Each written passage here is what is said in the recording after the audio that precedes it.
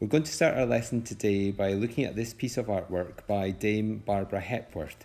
And I'm going to ask you some questions about it, and they'll be the questions that we would normally ask in class to really get us thinking about a piece of art. You might want to pause the video on each slide so you have a chance to talk about the answers. So our first question is, what is the subject? So what can you see in the piece of art when you look at it? What do you think it's of, if you like?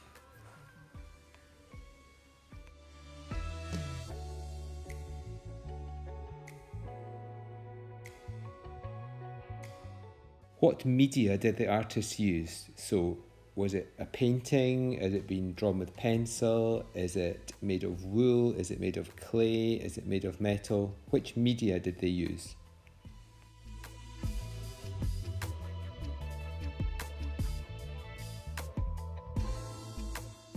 Next, we're going to talk about which visual element is the strongest.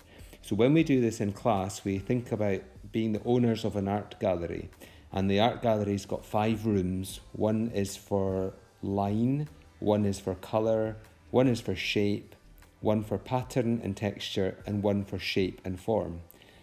Now, in a piece of artwork, you normally find lots of different visual elements mixed together. But for you, if you had to choose just one room to put this piece of artwork in, which room would you decide on? Which visual element do you think is the strongest?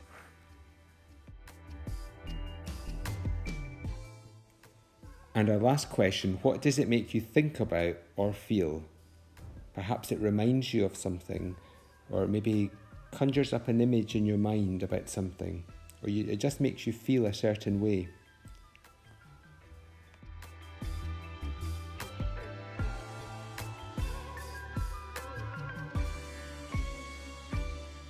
The name of this piece of artwork is Stringed Figure, and it's a curlew. So I'm going to show you a photograph now of a curlew. So a curlew is a small bird with a long beak. And I wonder if you look back at Barbara Hepworth's sculpture, if you can see any of the features of the curlew when you look at it.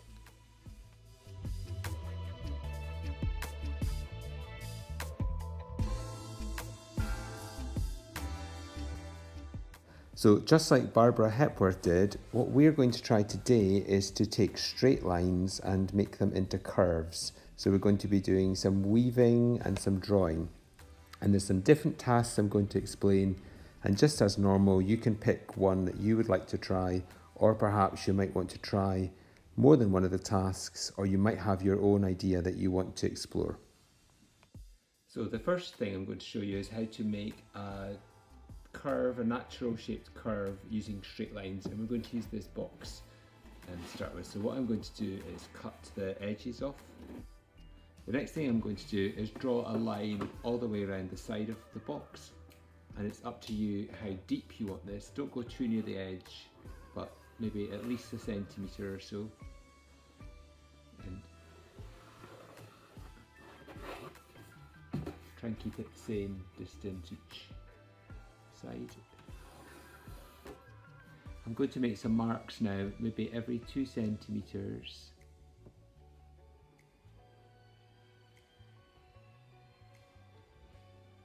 Next I'm going to make a hole where I've made each of these points. So I've got a, I thought a drawing pin might be useful here. So I keep my fingers on this side and then just push in through the drawing pin.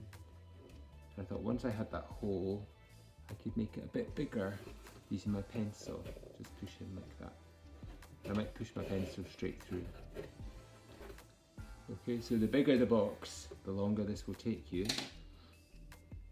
So now I've got uh, holes on every side of my box all the way around. And what I need is a piece of wool or a piece of twine. Um, just use whatever you've got. You could also use thread and use a needle if you wanted to do this. You could make your holes a bit smaller if you're doing that. But I'm going to go for the for this um, piece of twine. And what I'm going to do here is I'm going to count the holes. So 1, 2, 3, 4, 5, 6, 7, 8, 9, 10, 11. And I'm going to go 1, 2, 3, 4, 5, 6, 7, 8, 9, 10, 11. So I'm going to start on this hole here and I'm going to pull this through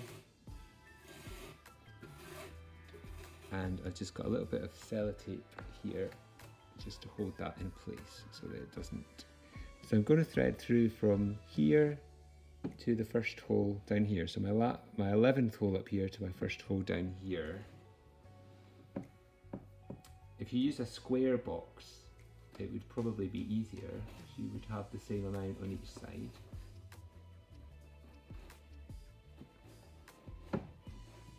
Use my pencil. If I just fold this in half actually, like that,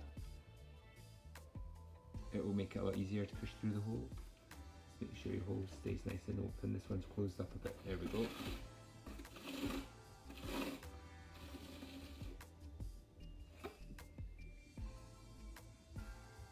And then I'm going to bring that through.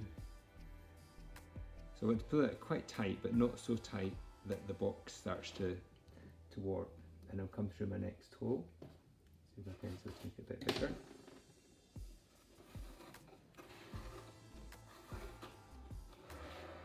and then I'm coming in to the next hole in the side in here.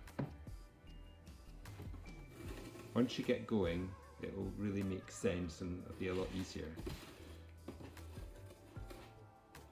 Okay, and then I'm coming in again, so I'm kind of traveling down this way and traveling that way.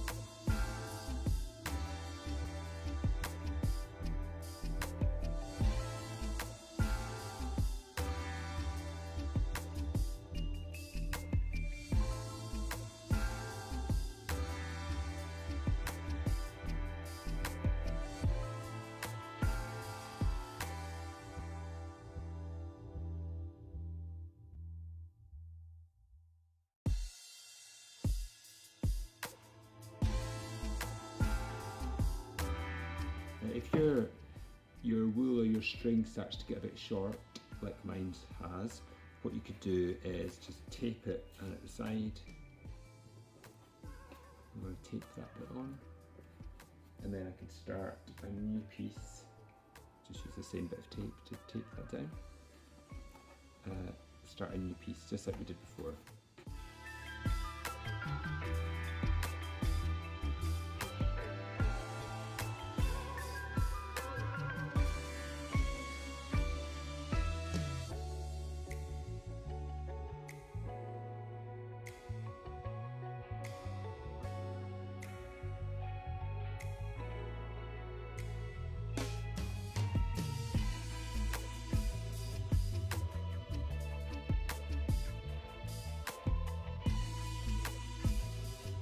To finish it off, again, just use your sellotape and tape down the, the end and make sure it's nice and tight before you pull it off. And you can see there, you've got, you've used straight lines to make a really natural looking curve. And if we look at Barbara Hepworth's sculpture again, you can see on here, she's got a really similar idea happening on here. So you can have a look at where her lines have come and where her curves have been created. So um, next up I think I'd like to try and make another curve um, on this corner. So that's what I'm going to do now. So to start off the other corner I'm just going to count how many holes I have here. 1, 2, 3, 4, 5, 6, 7, 8, 9, 10 this time. 1, 2, 3, 4, 5, 6, 7, 8, 9, 10. So I'm going to start on my 10th hole. Um, an option would be here to, to measure the length of this and divide it by 10. So if you want to do a bit of maths, um, say it was 30 centimetres long, you could have these being 3 centimetres apart. And if this was about 20 centimetres long, you could have these being 2 centimetres apart. So you'd have 10 and 10, and then your curve would go right to the edge of your box. So that could, that's a little option for you, a bit more complicated, but a little option if you would like to, to try that. So same again, bit of sellotape to secure it, and then I'm going to just start weaving it through.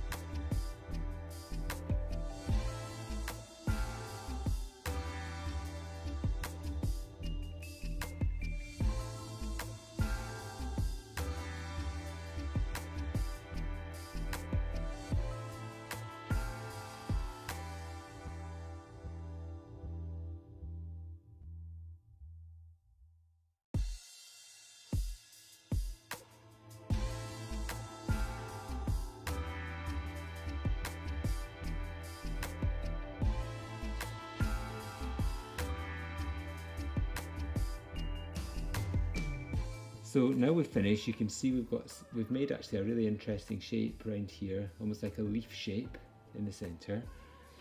And I'm going to put in a, a piece of paper inside just so you can see it a bit more strongly. So you could maybe draw a picture and put it in behind, or um, you could line it with some wallpaper or something. And it could look really nice as a, a little sort of frame. You could have it sitting up on a shelf with some objects inside. So I've got another square of cardboard here and I'm going to mark along two corners and I'm going to do maybe two centimeters between each. You could do it between one if you want to get uh, more detail or you could experiment with different sizes.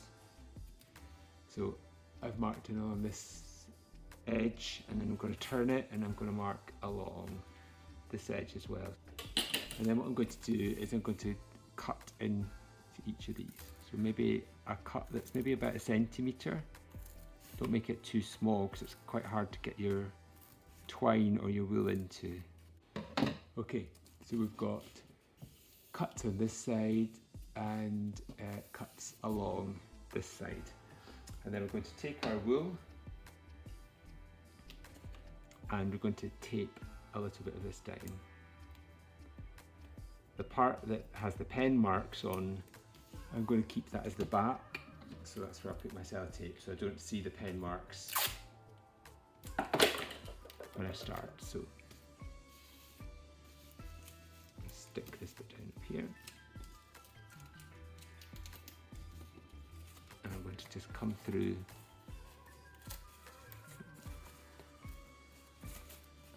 from there and I want to go from there to the first hole here, the first one here, like that. And then I'm going to go round, so I can loop around like this if I want to. You can manage to do that, that's why if you make your holes quite deep you can do that. And then you're going to come into the next one.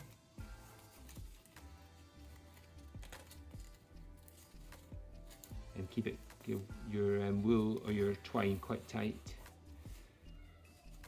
and then I'll loop it back around. Okay, so you can see our straight lines again have made another curve and that just needs taped on at the back. And if you want to, you could cut here and here and have another curve coming around there, just like we did on the, the box. So you can see on this one I've added on the weaving at both sides so you get the same effect as you do in the box.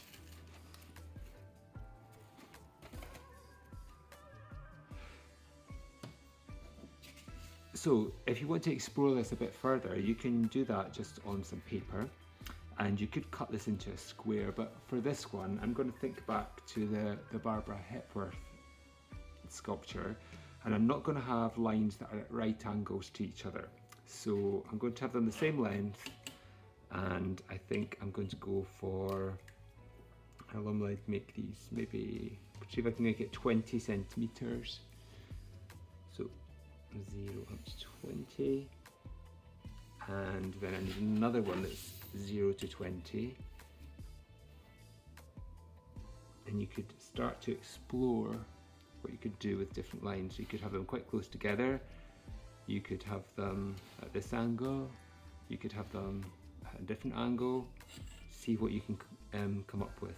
I'm going to go maybe for about this angle. There.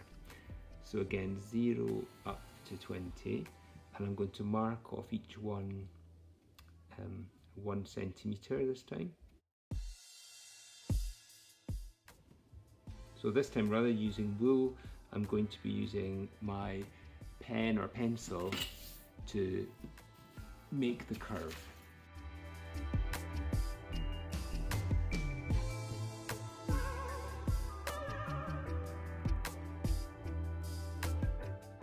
I'm going to go now from my furthest away one here to my closest one in, in here, the first line. So try and get it really, use a ruler for this. Okay, and then my second one's almost covered, but I'm just going to go in and just keep working through like that as you go.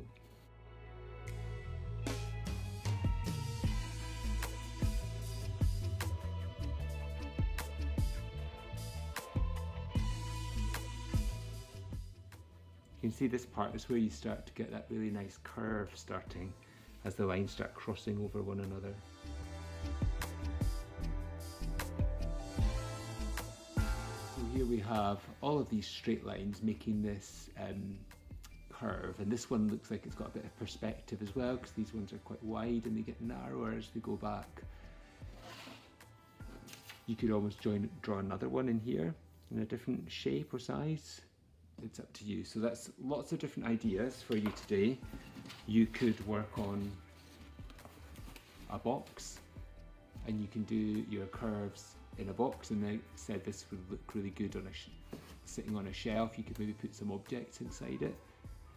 You could have a go on a flat piece of cardboard and you could then explore a bit further using pen or pencil and you can play around with different angles. So these ones, these ones were at a right angle and these ones here are at a smaller angle, an acute angle. You can change that line around and see how it would look, how, how different it would be. Play around what would happen if you just did your mark every two centimeters, every four centimeters, every five centimeters experiment and explore and see what you can come up with.